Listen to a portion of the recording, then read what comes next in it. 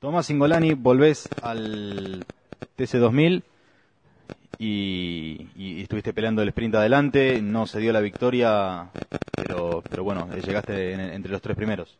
Sí, eh, buenas tardes. Eh, bueno, pudimos llegar en el podio, que era importante, sumar buenos puntos. Eh, volvimos a estar en la categoría, que no es poco. eh, hasta el miércoles no estaba dentro de la categoría, ni iba a correr. Eh, de hecho, volví de viaje hace muy poquito y, y bueno, me perdí la tanda de entrenamientos de ayer. Pero bueno, eh, creo que es un, buen inicio, un buen arranque de temporada junto al Finechi Racing, un equipo nuevo, eh, al que conocí en Rosario y que funcionamos muy bien.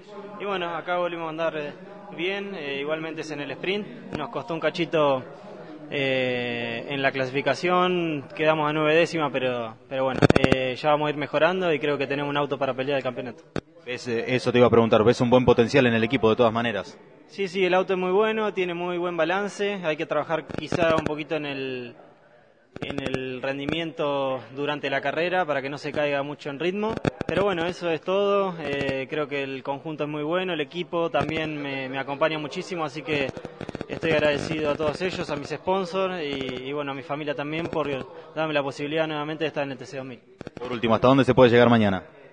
Y recién estaba hablando con Nacho, va a ser difícil porque esta pista es complicada para pasar, pero bueno, siempre que encontremos un hueco lo vamos a hacer.